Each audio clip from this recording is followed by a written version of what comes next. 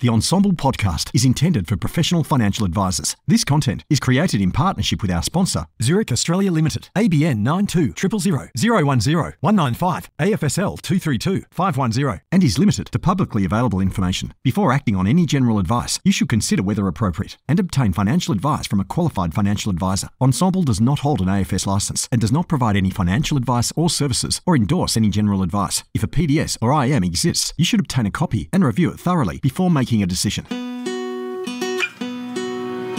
Hi, I'm Andrew Rocks from Ensombl, and I'm thrilled to be bringing to you uh, the podcast Engine Room that's devoted entirely to the practices or the business of the business of financial advice. Over the course of the next many months, we're going to be interviewing Australia's best independent boutique advice firms, their practice managers, their GMs, on what environment is conducive to being a best practice how they keep talent, how they attract talent, and what the future of financial advice is. It's the Engine Room podcast. Welcome aboard. Zurich is proud to be supporting this episode. The Zurich and OnePath Advisor portal is more efficient than ever before, giving you access to two leading brands with three highly sought after products, underpinned by two powerful underwriting engines, all with one simple sign on, making it easier for you to do business and perform at your best. Hi, my name's Andrew Rocks, and welcome to another edition of the Engine Room podcast. Today I'm joined, in fact, we've been talking for about 15 minutes um, it's been quite hilarious. There's been jokes aplenty. Um, we even just referenced uh, Richard Mercer from Love Song Dedication. So, um, Sam, if, at the end, if there is enough time, I will obtain your love song dedication. But in, in, in the intervening period, ladies and gentlemen, I'd love to introduce Sam Perera, who's the founder of Perera Crowther. Welcome to the show. Thank you, Andrew. My pleasure to be here. And apart from the hilarity of the love songs, um, we'd love, uh, you know, clearly a, a, a, fan of romance, we'd probably like to have a little bit more meat in the bones about your actual story. As be the engine room, we like to try and figure out what makes a business in 2024, but a lot of it's the history, the tapestry of what got you here. Yeah. So tell us the Sam story. Well, you know, talk about history. It's close to uh, 19 years since I first uh, joined our wonderful profession. Um, and Roxy, I was really drawn to the business of financial advice rather than um, financial advice itself. So consider myself a business owner and a business person first, um, and a financial advisor second. Uh, and and I learned that very early on in my career when I started in 2000. Um, and and five, um, my dear friend Russell Collins, who's a, a legend in our profession and a great mentor, probably someone that's uh, being the person that's most shaped my professional career, um, said very early on it was a client concept. He said there are two sources of income, man at work and capital at work. And obviously, with man at work, there are only so many hours. Um, and this concept uh, really rung true with me. So, over the course of the 19 years that we've been in business, uh, I have, um, you know, worked hard of putting our, our capital at work, uh, our, our human beings, our team, um, and our financial capital and continue to invest and reinvest in the business. Um, so here we are in, uh, June 2024, nearly 19 years on and, um, got a, a, a, wonderful team of eight, uh, servicing about a thousand clients, mostly professionals and some corporates. Um, in looking after their risk management and insurance um, insurance needs. Can I ask you a question about Russell Collins? Yes, because um, his name is is iconic, and I yes. can remember um, doing a business insurance session with him back in the yes. day, and in fact. Obtaining C- CDs for all of you kids out there on, on on his training. Yes. Were you uh, were you involved in a specialisation for life insurance before you'd done the spoken with Russell Collins, or was that did he shape the way in which you viewed financial advice? No, absolutely, and, and, and a great question. Um, I was studying accounting, running a bar uh, whilst I was doing that, and it was a life insurance specialist that recruited me. Not studying for the bar, running a bar. Everyone, he's my kind of guy. but uh, no, I was drawn uh, in into the profession by a life insurance specialist, um, and it is it is through that uh, that I met Russell Collins, and I did one of his courses very early on in the piece. I've got a funny anecdote. Um, started business from scratch, and uh, you know, no uh, money per se in the in the bank account. And Russell Collins, within probably about six months at a PD day, did a bit of a session, and he said, "I'm doing this workshop." And at that stage, I think it was five hundred dollars per head, and uh, you know, we didn't have much money in the bank, but we decided to spend the $500, me and uh, my former partner, Josh Crowther, and did his course. And the rest is history. It was the best investment I ever made. And uh, to this day, I consider him a very dear friend. And uh, I'm um, extremely grateful for, um, yeah, the advice he's given me and, and, the way it's shaped my career. We might dig up some uh, good old Russell Collins info, Kieran the Sound guy, and put them on the links. that's that's him nodding another classic yeah. transfer into uh, the audio format. Well done. So so you've now you've kicked off this business. Yes. Whereabouts was it?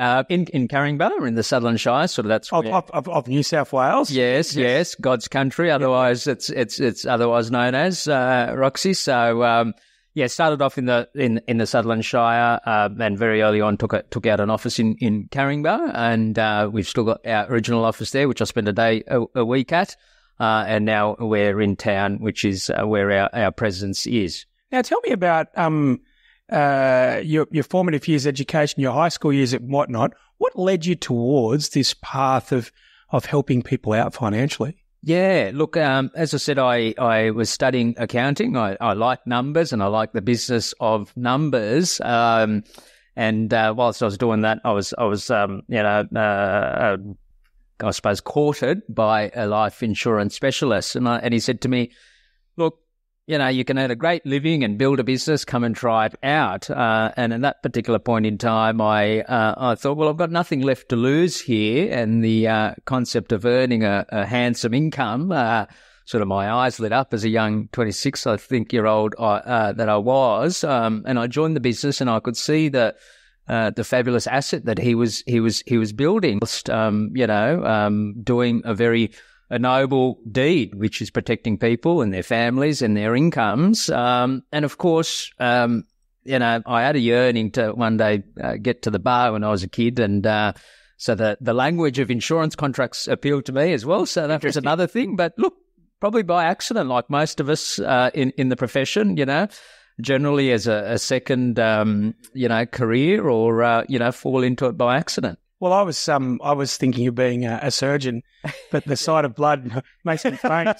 so uh, would have been a very short lived uh, career. Yes. Now you've you've got eight people now, but surely you just started off. You said yourself and your your previous partner. Yes. Um, and you so you kicked off in 2005. You had a couple of years, and then we had a real um scenario globally, the global financial crisis, which yes. which apart from the fact that it really uh, impacted people with investments, it made people think again about their risk, didn't it? Oh, absolutely. And look, at that particular point in time, we were also um, doing a bit of more broad um, brush financial planning. And uh, gosh, I remember those days, and you probably would too, when certain investments were, um, you know, were frozen.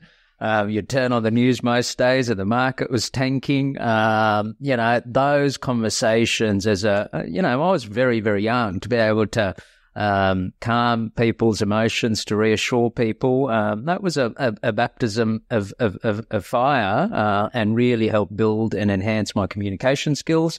Uh, and uh, relationship skills um, with with with clients. So um, yeah, it was hard hard hard going when we first started. It was you know um, uh, like a lot of people, we built the business from absolute scratch. And you were business writing the whole way through.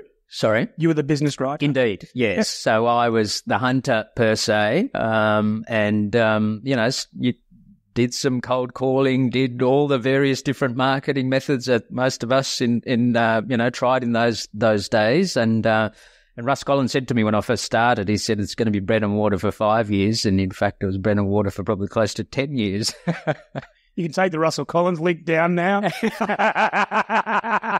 but lucky you've been doing it 19. Yeah. um, at what stage did you have the foresight to bring in a bit more of an operational bent with the uh, the hire of Janelle? Yeah, uh, and a, a, a, great question because um, you know we weren't uh, in a position where we could um, add the financial resources to get additional help. So You know, we were the marketer, the cleaner, the uh, advisor, the underwriting guy. But um, over the course of the last 19 years, we've um, uh, been fortunate enough to acquire five businesses. One uh, fairly sizable, um, and and one other meaningful. Other the other three were um, uh, uh, uh, smallish businesses, um, and we were fortunate enough in terms of the first acquisition.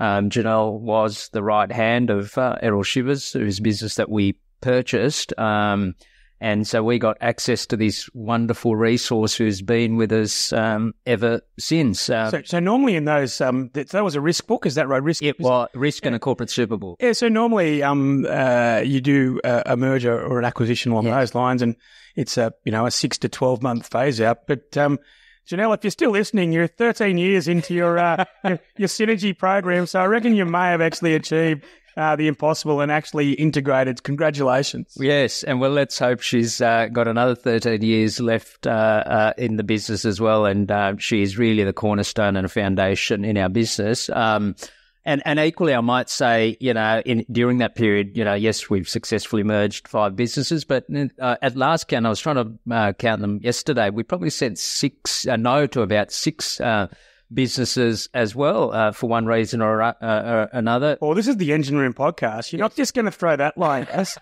what are the reasons?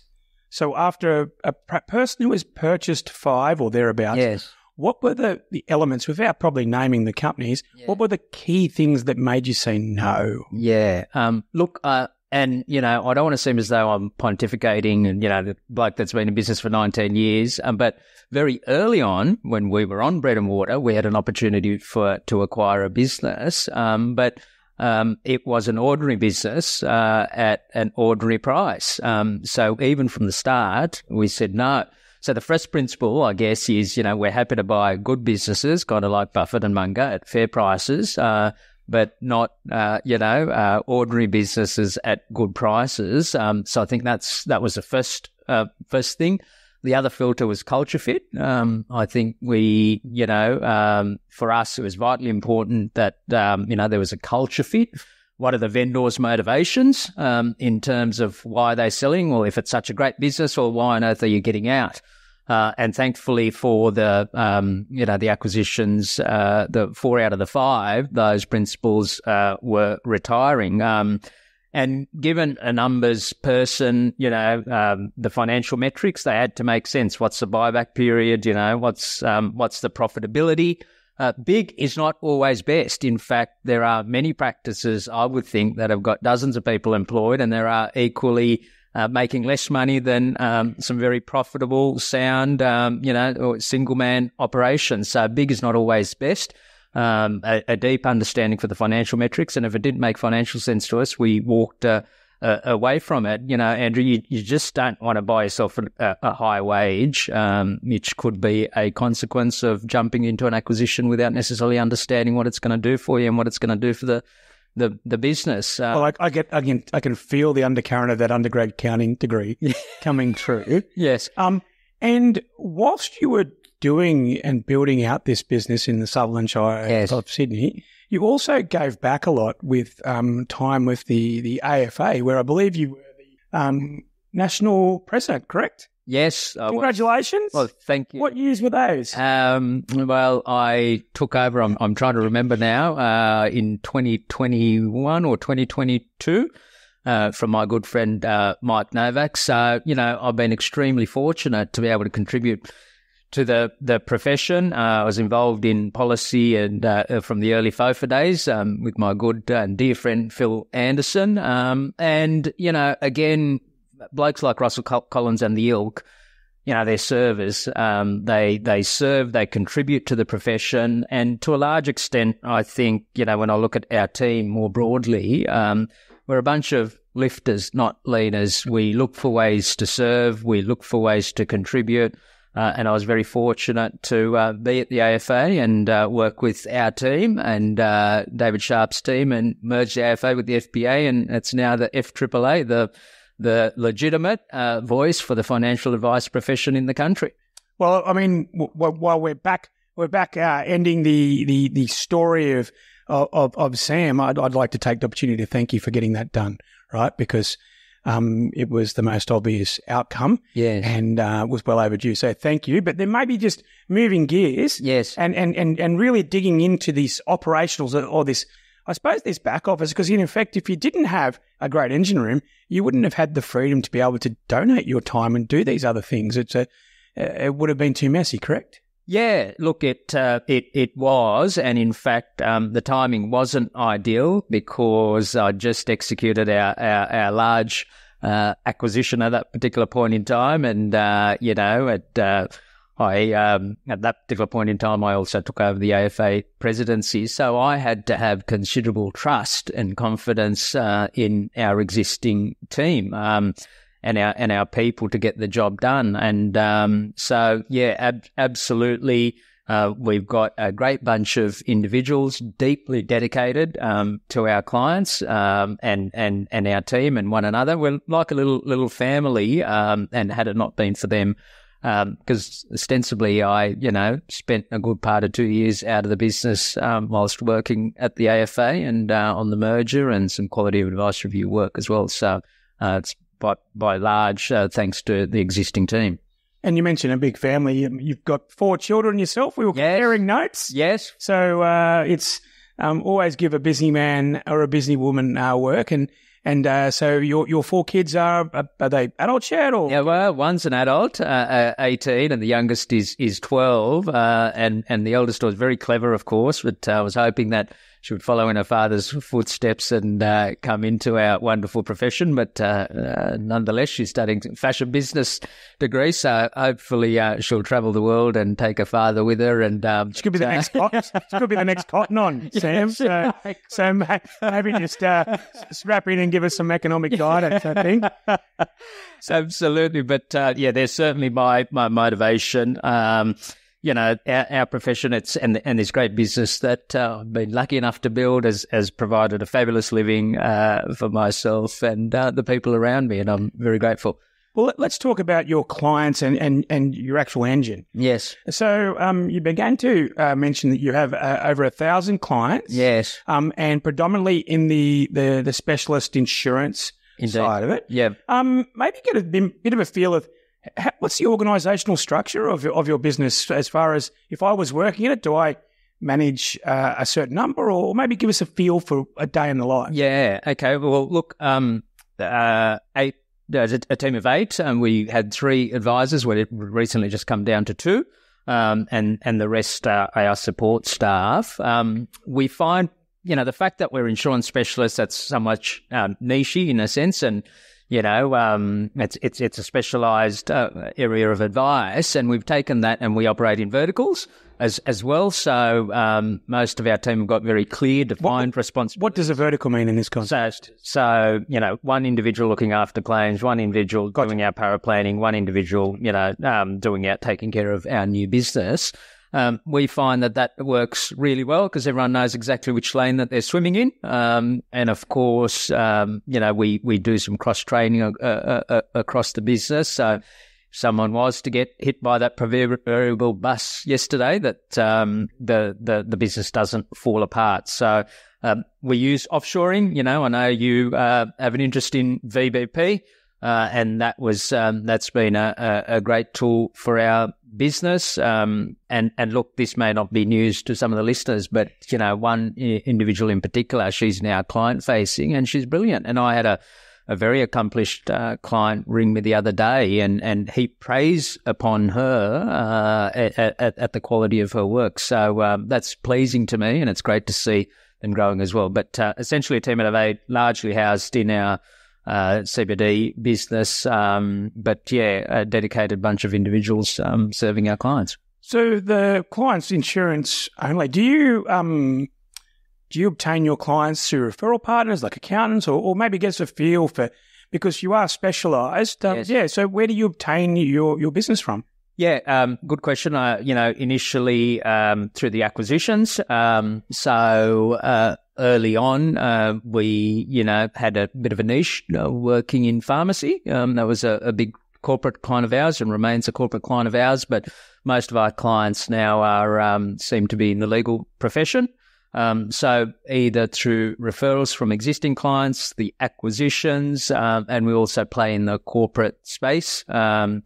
And uh, that helps us get the referrals as well. We've got a couple of joint venture partners, accounting uh, firms, other financial advisors who realise that insurance is a, a niche, complex business that um, want their clients to look uh, um, get looked after by a specialist firm uh, as well as some general brokers um, as well. Look, we like working with professionals, and we like work, working with professionals because they value advice because they're in the business of giving advice um, themselves. Um, they're able to synthesize information fairly quickly and make decisions based on fact, and we like that trait in our clients. And thirdly, and most importantly, um, they've got the economic capacity to pay the premiums to allow us to give them the advice and the service that they need that drives our economic engine. Um, one of my favorite books, if you don't mind me saying, is uh, Collins's Good to Great. Uh, where he studies, you know, the top. What are you passionate about? what are you well versed at, and what drives your economic engine? Wow, and I, I, was I was just going to pause to say uh, the word, the use of the word synthesize was winning the linguistics bingo for the day. But, uh, but, but to throw a to throw a classic Venn diagram that I'm passionate about, yes, into the mix, yes, um, well well done. And these the professions, um, I suppose you being a specialist, we might come back to that at the end because quite often I, I like to talk to practice owners about you know, how you'd like to present yourself to the listeners. And the listeners are typically people in our industry or ambitiously wanting to be in there. Yes. Um, and uh, what I'm passionate about is that every facet of the financial planning tapestry, whether it be aged care, life insurance, self-managed super funds, wealth accumulator, cash flow management, deserves its place. Yes. And a specialist in one of those areas, um, we might actually get a bit of a feel for what you're looking in, in, in team members um, in your future state at the end. So we might, remind me to do that if I forget, Sam. Yes. So I'm actually giving him um, homework, Kieran. Is that cool? yeah, yeah. yeah we're, we're, um, it's at early stage dementia. It is kicking. it is Kieran, isn't it? So good. Yep, that's a double nod. And you've got so you've got your your your, outsourcing, but you treat them as part of your team, as you intimated there. Well played. Yes. Um, how are you licensed? Yes, we're licensed through um, Bombora, who's a risk specialist uh, network. Um, and, um, you know, I've got an, uh, I, this came to mind as I was just uh, doing some preparation for our, our, our, our conversation. And uh, it's an interesting thing, human psychology. And I remember when uh, the opportunity came to join Bombora, uh, and I was smart enough to be honest with myself. And I thought, I'm a little bit apprehensive here. Uh, at that particular point in time, probably I think it was six years ago, Bombora, you know, had a, a very good quality uh, network of top risk practices, some massive egos in there too. And I thought, Shout out to all those people for the egos. We're providing a link. my, good fr- my good friend Chris Mason at MBS. But um, we, you know what, Kieran, we have the opportunity to delete that, but uh, due to my personal relationship with Chris, we might just we might put it on a loop. Yes, you played soccer with him. I'd be interested to see what his ego was on the soccer field. We're cutting this out now. he's a half decent left footer. Oh, so there you go. But um, look, I, I, you know, I had doubts. I thought to myself, "Shit, am I good enough um, to be in this game?" And I was a bit apprehensive, and that's the god honest truth. And thankfully, I bit the bullet and uh, joined the network. And um, certainly, in terms of uh, that, was a, a, very smart business move. Um, success breeds success, uh, you know, and you're invariably drawn uh, upwards towards success. And um, you know, I think we're we're holding our own um, uh, in in A grade. So um, yeah, it was an important move and uh, a, a smart move, notwithstanding the initial apprehensions that I had. Well, you, you so you, you've moved into that that um, license many years ago. Yes. Surrounded yourself with like-minded practitioners. Yes. With quite a few of them risk focused. So yes. So you did have that, that I suppose that intellectual bandwidth and firepower. Yes. With that in mind, um, where did your tech stack end up? Well, I mean, tech in the insurance space is is, is a difficult prospect. Um, you know, still put your wish list in. still waiting for Brett Wright to uh, uh, sort uh, the system out, but um, we're uh, reliant on Xplan. Uh, you know, it's unfortunate, but uh, that that's what we do. we migrated to Google some years ago, which we thought was significant. Um, in our ability to collaborate, both here and offshore, seamlessly. Um, and and that's uh, largely it. We're not very sophisticated in terms of our tech stack, Roxy, unfortunately. Well, we'll give uh, we'll give the, the LifeBit uh, team a shout out, and Yes. um, um, we're waiting for the, uh, the the white knight in shining armor to come and help, especially with things like reviews Yes. and just that that that imperfect data. yes. Um, financial advice seems to be dominated um, by by assets and, and, and funds and and uh, getting getting contemporary and, and correct data with life insurance has been proven to be quite problematic, and it adds to the ongoing cost of you servicing your clients. Would you agree? Oh, absolutely. It's probably one of our biggest uh, bugbears in terms of having access to the data feeds because otherwise it's a manual uh, a process. Um, you know, and I, I, I struggle to see that there'll be any inroads made in that area um, uh, unless LifeBid's able to um, get, get, get it up and running. So, um, best of luck to Brett. I know a number of insurers are, are behind him and are supporting him, uh, but um, it's it's probably the most cumbersome area within our uh, our practice. And um, so yeah, a, a, quite a, a, a vanilla esque tech stack there. Um, you have purchased a few firms over the years. um, you mentioned earlier that you, you you you had a business partner, and I think you you guys separated or you you purchased your business partner or something along those lines. Yes. So you've done a few corporate actions before. Are you the sole owner of the business? Is there any other investors in the business? No other investors in the business, so I am the sole owner. Uh, I think it's uh, it's good and and bad because uh, What's what's bad about it? Um, well, I mean, I, I, I think accountability is important. Um, and I know um, in, in some of the preparatory questions, you, you had a question about a board of advice, which uh, I don't have. Um, so otherwise, I'm only accountable to myself. That being said, I'm fairly driven and focused in terms of how I run the business of the business. Um, but but certainly uh, my uh, board of advice is often catching up with very good friends of mine, uh, always seeking out people that are more successful than me and keeping a very close ear to the ground in terms of uh, what's happening in the market, levels of profitability, uh, return on equity, return on investment, uh, mergers and acquisitions. Um, so in a sense, my accountability is, um, you know, having those conversations and finding out what, what my competitors and friends are doing and doing my best to emulate them in, in, in the shape of the business that I'd like to, to fashion myself. But, um, succession planning is, is, is, is a risk. It's something I've been turning my mind to over the last six to 12 months. Um, and that's going to be an important question for me to ponder over the course of the next 12 to 18 months. It's interesting because you've been going 19 years, and Yes. We, we sort of uh, threw around the what would the business look in ni- look like in 19 more years. Yeah. And um, I think that uh, what you've what you've started to do around obtaining that information, looking at other people's models, is definitely there. Um, what I'd urge you to probably do is is start putting some time time frames for yourself, Yes. um, just to hold yourself not to accountability around what you do, but the time frames. Mm, I think that's probably the hardest thing. mm. Um, regardless of your drive, is just to try and figure that out. Um, I quite often used to do it on my birthday, you know, figuring out what I wanted to achieve and Yes. because the good thing about your birthday is it's the same day every year, right? you can't keep pushing it back. Now, I thought, you were. I thought you were a smart fellow, but yeah, no, no, no, no, no. You've got to put some some basic stra- scaffolding in for an otherwise busy mind. yeah. Um, so you've you've answered the question about uh, a, a board advisory board and ownership and and whatnot. And um, so at the moment, your previous um uh, business acquisitions were were no doubt debt funded. Is that correct? Uh, uh, yeah, uh, a couple were, a couple weren't. Um, you know, and that's another um, a, a really good good point is that um, part of our success is that um, I was fairly uh, driven in terms of amortizing the debt on the acquisitions in order to continue to build a balance sheet to allow us to go uh, Again. again. Um, and and and that's worked uh, well. You know, I was only thinking about this over the course of the weekend. Um, we are in a unique position as financial advisors. Now, I mean, I get to access the best part and, and look and review uh, and research the best part of a thousand balance sheets and P&Ls of my clients.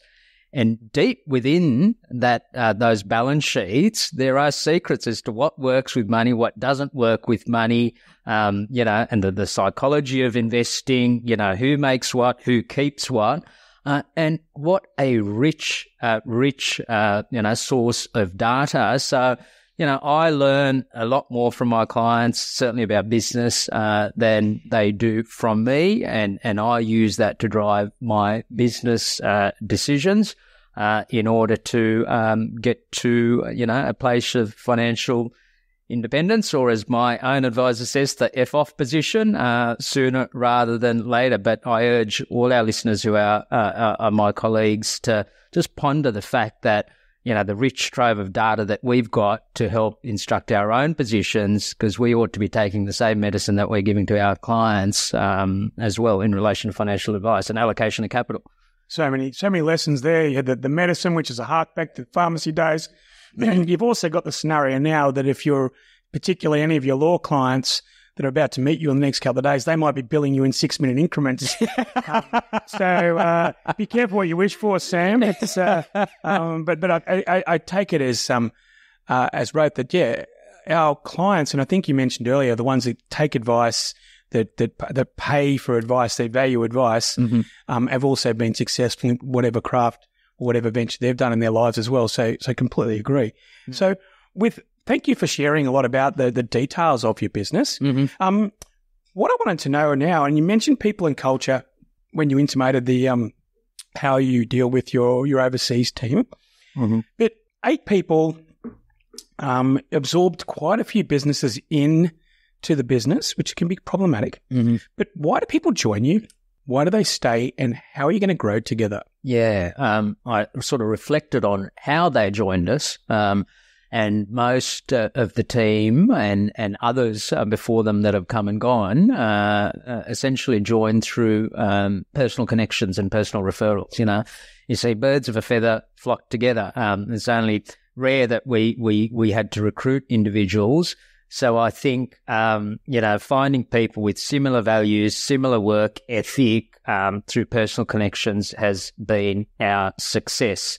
Uh, how do we get people to grow? I think every voice around the table is critically important. So we have regular get-togethers, two six monthly strategy meetings, and uh, twice a week meetings in terms of okay. WIP. Let's slow it down. Right. So you do a six monthly strategy meeting with your whole team. Yes. Where it's documented. Yes. And you do a weekly, two weekly meetings, a, two weekly meetings. Yes. So I want to know what you talk about at the strategy meeting. Yes. And then I'd like to get an idea of the cadence and the content of your, your weekly meetings? Yeah. Um, look, our most recent strategy meeting was at the start of this year. Um, and essentially, because I'd been missing from the business for the best part of two and a half years because my FA and other other work, and um, it was really, you know, we're brutally honest with with ourselves and our and our and our business, and uh, we looked at, you know, back to basics. What are our strengths? And, and, and really be truthful about what are our weaknesses. And what are your strengths? Number one, people. I know it's cliche, but we couldn't serve the type of clients that we've got to the extent that they're used to being served without a team of dedicated individuals. Language is vitally important to me, and I once had someone says when you, when someone say when you open your mouth, you tell the world who you are. Um, and I observe the language uh, that that our team uses, and it's always our team, our clients, our business, and that has been the uh, case uh, for a very long time. Um, so uh, yes, that you know, looking at our strengths and and and looking at uh, what our weaknesses are, and there were a few glaring ones. Training was was one of them, if we were frank. I didn't ask you for your weaknesses, but I'm happy, I'm happy to listen because we, we only learn we, we learn when we bleed. So so um so training. What do you mean by that? I mean, you're an acknowledged specialist in life insurance. So what possible training could you and your team um, be after? Yeah, well, look, we we had a couple of new team members join us in the last eighteen months, and uh, and and to a degree, because we're a mature business, um, and and we're expected to run, um, uh, we we we threw a couple of people into the deep end, um, and on on reflection, they missed the fundamental, um, you know, basic training of. Of, of business and how things operate, how to follow their bouncing ball. So we've addressed that. We've put a training plan in place. But, but was there life insurance specific issues there? Um, I, I, there, there's quite a few life insurers. They'll be listening. Yes. So is there anything that you would you would um, ask? Yes. Um, not just for your own self serving benefit, but yes. for I suppose the, the, the further ingratiation of younger people in that insurers could do potentially for soft skills? Yeah, look, um, a, a, really good one, but I'd take that one step further back. We had a young fellow join us who helped. Um, currently, his, his, his role is a casual. He helps me with business reporting and um, running some special projects uh, that we run from time to time. But we assume that they um, you know, and it's no slant on the individual, but know how to communicate via email professionally to a, a, a client, you know. So it's just basic things like that. Um, even my 18 year old, if I put her in front of the computer and said, off you go, write an email to XYZ client, uh, they wouldn't necessarily know how to structure that. So some basic business training, um, which Janelle has spearheaded, and uh, more broadly, insurance um, training for, for, for other team members. And our, our great BDMs uh, have helped us with that. Um, we have got great relate. I, mentioned people when you asked us about our strengths. Our people's our, our team, our people's our clients, but also, um, you know, our stakeholders. Um, we go about things politely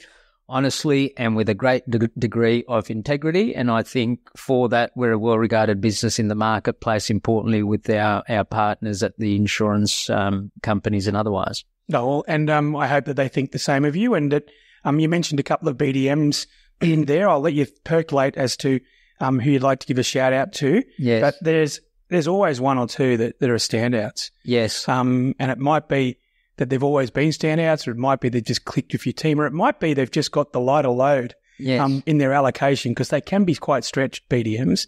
Yep. So, um, you know, a, a, shout out to the the much maligned and quite often overworked BDMs in, in, in across our whole industry. I think you hit the nail on the head, and they are overworked and underappreciated, especially in the insurance market. They've been jammed over the last few years. Um, you know, their numbers are as difficult to hit, and uh, you know they're often wearing the brunt of us advisors. But um, you know, people that pick up the phone and and always call back uh, Declan O'Connor at MetLife comes comes to mind as one immediately, but we are blessed with an, a number of uh, BDMs that are friends of our business, um, and uh, as well as as as, as underwriters, and uh, we regularly thank them by hosting some drinks on our lovely balcony at uh, uh on King Street Wharf there, and thank them. And uh, I know that's um, appreciated by them, but that's because we appreciate them. And um, so getting down to the the more mundane, the the, the bi-weekly work in progress meetings. Yes. Um, and then let's take a step back. Are you all? Well, you're not all in the office because you got some people overseas. Yeah. So are you? A, are you a, a, completely remote? Are you half and half? Give me an idea of, of of the way in which you guys run in offices and whatnot. Then how you do your work in progress meetings, please. Yeah, um, so fairly flexible, but um, typically, you know, four days uh, in the office and a day uh, um, from home. Um, you know, fairly flexible in terms of the work, but with a deep sense of responsibility. Um, so with that flexibility comes that uh, responsibility. Uh, I often say, and I was traveling a fair bit over the course of the last two and a half years for various reasons. Uh, work is what I do, not where I am. So, um, provided um, you know the team gets their work done.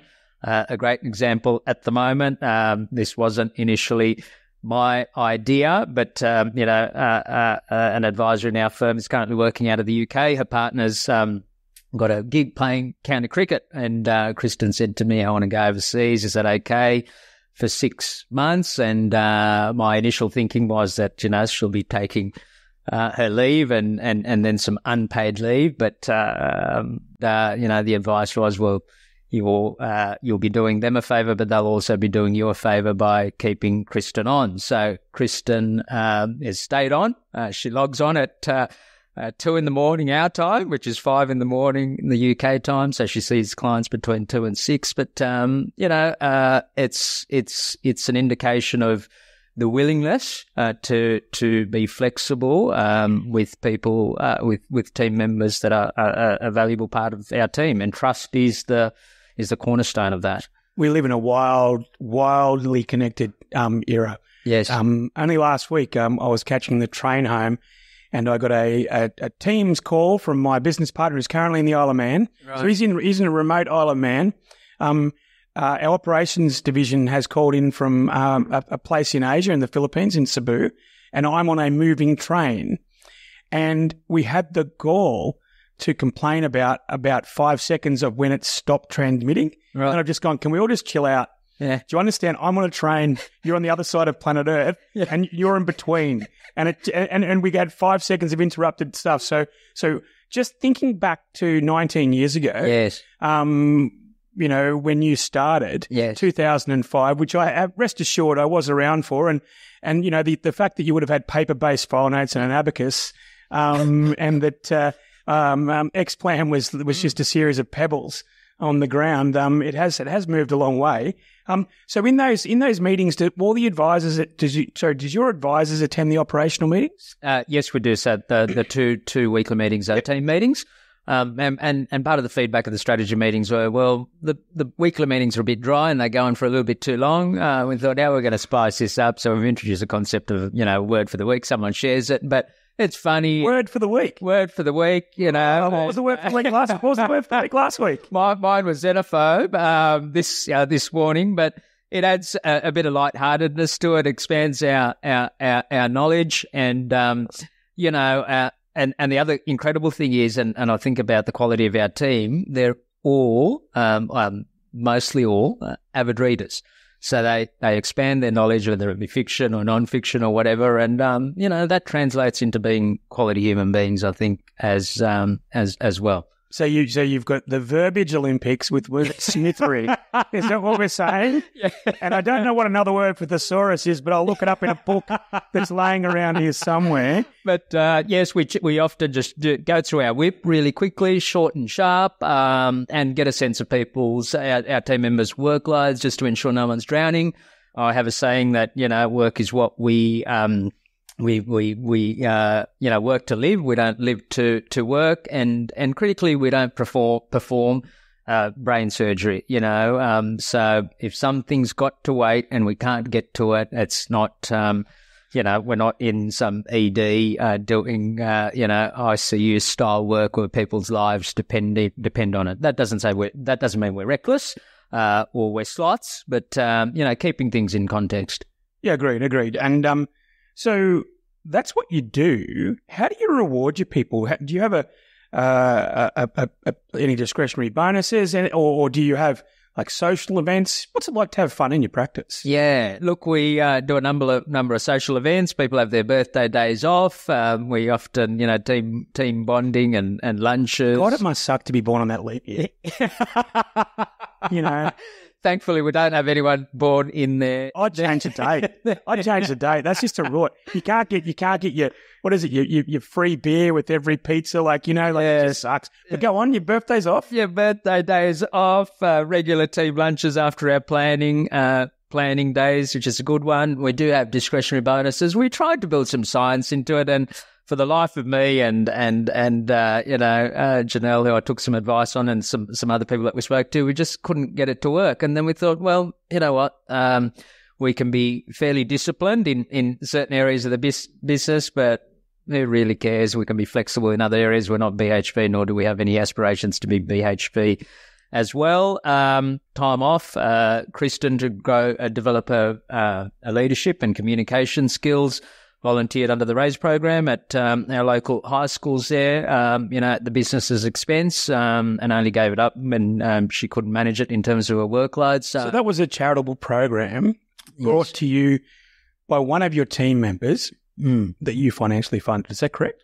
yes, it was. Is that is that kind of how you make decisions around charitable pursuits, or, or do you have a system? Yeah, we don't we don't have a system, um, sadly, but um, it was something that I used to do, volunteer in, in our local schools, and um, and uh, we just felt as though Kristen needed to grow and grow her leadership and communication skills, and uh, that was the one that came to mind. Quite a worthwhile uh, community endeavour, and um, you know, so um, programs like that, um, you know, that I'm happy to financially support our team members um, to pursue their passions and, and, and grow as individuals. So um, they're the they're the main ones. And um, with all this workplace flexibility, with with you know, you mentioned that you're four days a week um, together, or one day uh, but collectively not. Um, have you tried any flexibility that didn't work? Yeah, uh, um, we over the last quarter trialled a um, earned day off a fortnight uh, program. Unfortunately, we just couldn't get it to work. Uh, Why is that? Now the the post mortem will be at our July strategy strategy meeting. Uh, perhaps the metrics were uh, unachievable, uh, especially given we've had some changes to the team over the last um, quarter.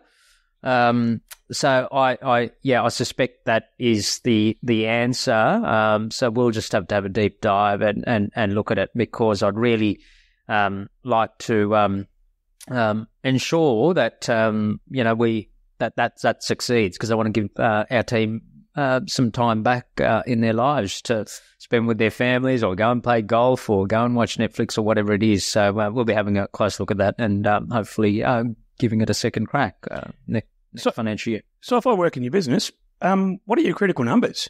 Like what what what what what things do you obsess about um, on a on a daily and weekly basis? Yeah, um, so certainly our, our, our, new new business numbers. Um, so do you uh, annual premium or lives insured? Is that uh, terminology? By, by premium, yeah, yeah. and uh, lapse rates is a, a, a, critical one. What do you do to help lower your lapse rate? Because a lot of people listening here, as life insurance has ratcheted up in the last five or six years, what's something that you can offer our listeners that you might think uh, will assist them with managing lapses? Yeah, it's a, a really good question. And uh, I think, you know, given that we're specialists and part of a, uh, one element of our weekly meetings is that we look at all our clients up for, for renewals for that particular um, um, uh, week coming up, a month in advance, and, um, you know, do the necessary benchmarking or have a look at the levels of increase as on their premiums and proactively and, and, and engage and work for the client. Invariably, we're doing reductions, we're rebrokering, um, and you know we're we're lucky enough to be advising a wealthy client base, and as their assets continue to grow and their need for insurance continue to reduce, so we're not afraid to have those conversations. They result in lapses, but I think the counter argument is is the quality of our service uh, enables us to um, pick up referrals. Um, um, so uh, lapses, um, uh, new business target uh, targets, and we've certainly uh, over the last uh, four or five months started to keep numbers on how long it takes to produce an SOA, how long. Um, you know, applications are in, in, in the pipeline, etc. Drew Bird, my good friend at MBS, um, they're great at this sort of data. Uh, we're certainly not as, as big as them and have no aspiration to be, but I think um, having that data allows us to have a deep understanding of the business, um, as simple as it is, and that's what we're achieving, uh, trying hard to do. Well, I interviewed Drew in this very seat um, yes. uh, last year, so um, you're right, obsessing about that cost of acquisition and that cost of delivery. Yes, um, is quite important, but it's also it's also um, eye-watering in that the way where LIF legislation is has put um, life insurance for new business is quite compromised. It's it's quite difficult to to break even on the acquisition of clients um, unless they're wealthy. And um, this is my own personal opinion, listeners. Um, when I got into financial planners, wasn't planning wasn't to make wealthy people wealthier. Mm. It was to help the lower middle class break through that glass ceiling. And um, uh, yet again, um, even in life insurance. Mm um, with the uh, the difficulty in obtaining new business at that capped rate mm. on lower premiums um, makes it tough. Would you agree? Oh, absolutely. Um, you know, the people that really need our help aren't, aren't getting it. Uh, I think it's income. I mean, there's there's no greater time to be a financial advisor in Australia and to belong to this great profession. I mean, you think about the underinsurance crisis. You think I think the number is 750 billion transferring from accumulation into pension uh, over the next few years. Australians have never been wealthier. Um, so not all Australians. Not well, yeah, yes, true, Fair, yes, but but um, you're right. There's a big transfer. Yes, but still deep down, there's been an artificial impost put into all of the businesses in Australia, which makes it quite difficult for a uh, for us to to be able to advise more of Australians? With, without a shadow of a doubt, looking at the budget papers um, recently, I think there's something like 8.3 million taxpayers with a taxable income under $135,000. So it's incumbent upon us uh, as a profession to look for ways or to promote ways of um, of um, you know accessible and affordable financial advice uh, for for for those particular uh, Australians. Um, waiting for the government to give us a solution is not going to be the answer. Um, you know, things like the CSLR and the ASIC literature, I, I doubt the government's going to you know, cut a check. When you look at the forward estimates, I think we're going to rack up something like $100 billion in deficits over the course of the uh, four or five financial years. So government won't be the solution. Um, and whilst, uh, you know, we want to serve as clients and drive our economic engine, I think it's also incumbent uh, upon us to look for ways to help the Australians that most need our advice. And that would be uh, my great hope for our, our profession in terms of how we look for ways to give back. And um, you know, this leads me on to the, the, the, vision for the future, which you've you've sort of begun there, and um, and the the fact that you mentioned that the current, uh, well, the the place that the Australian government, which creates the legislation, um, uh, that governs our industry, has found itself with with um, you know, its its debt situation, maybe looking overseas. Um, in your time with the AFA, did you um, have much sort of exposure to other markets globally on how, if they got to this sort of juncture, um, what they did in their life insurance um, sort of structuring, and did it work? Yeah, look, I um, we did, didn't didn't um, you know uh, commission any research uh, per se, but I know a number of participants have looked at the UK model and and, and others, and you know New Zealand uh, where commissions are are higher. Uh, Sorry, so just were they higher because they were lower? Well, what what happened there? What was the story for our people who may not know? Well, yeah. So, so um, in New Zealand, as yep. I as I understand it, um, you've still got um, high commissions up front, which cover the cost of acquisition. Yep. Um, the UK model, as I understand it, tried to eradicate commissions, but that didn't work, um, and the, so they've now reintroduced it. Um, so far as Australia goes, I, I, I, I, don't think there will be any political appetite to increase commissions. I, I think um, I just can't see that happening under the Labor government or perhaps even if the coalition wins. So we've got to look at alternative solutions, which are really to reduce the cost of providing that advice. Agreed. Um, or, um, you know, uh, John Trowbridge, as much as uh, many of us don't like his LIF related proposals, but he had an initial advice payment fee, which is, you know, payment um, to help us subsidise, uh, you know, servicing those lower, lower premiums. Um, perhaps a, a, variation of that, which is what the AFA put into our collective advice review.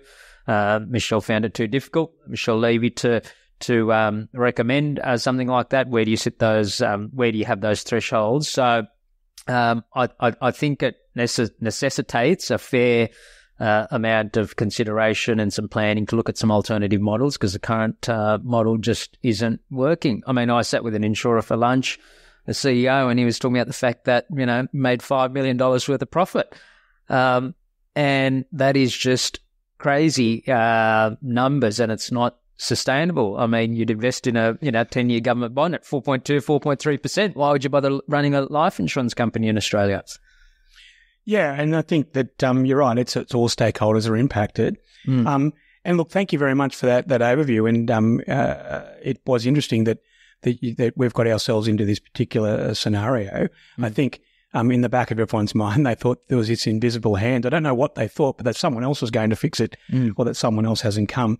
But getting back to your vision for the future for the sorts of practices, now you're you're stoically and proudly an insurance specialist. Mm-hmm. You've got joint ventures in other financial advice practices mm-hmm. as well as accounting practices who refer you clients. Mm-hmm. You've got the verticals where you've got specialists in claims, which I think potentially um, you, have undersold yourself there because people um, don't care what the application's like; they care the claim process. Mm.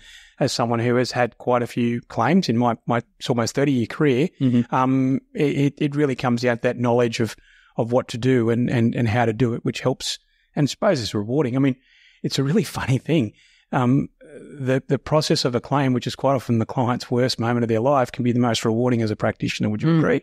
Ab- absolutely. And, um, you know, we do a number of claims and we take them very, very seriously. And that's when the rubber hits the road, um, you know, and, and you realize how complex it can be because it's not just a case of, you know, filling in a form and sending it to it. But um, well, that amateur legal um, um, sort of aspirations help, doesn't it? Reading.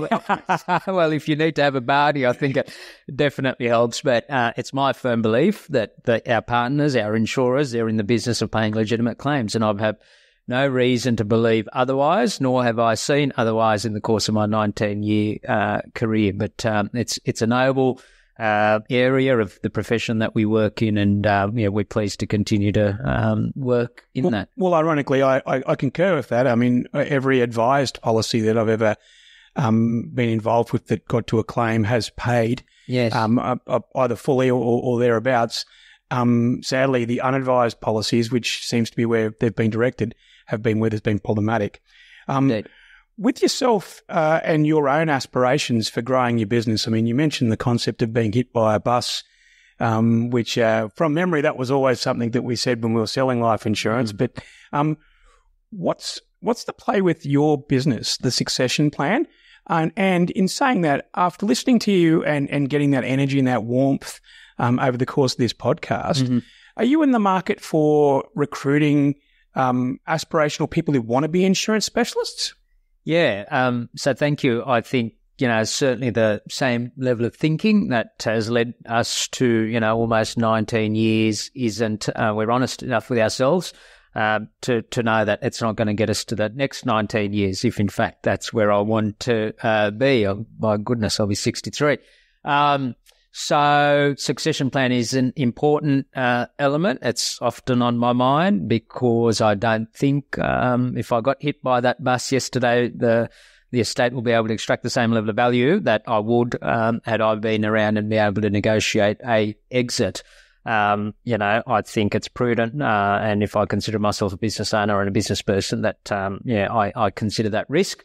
Um, I'm having a number of, uh, uh, of, conversations or have been doing a bit of research over the course of the last 12 to 18, 18 months and, you know, may well be taking some money off the table. I, I, I don't know, uh, to help shore off, uh, shore up that risk.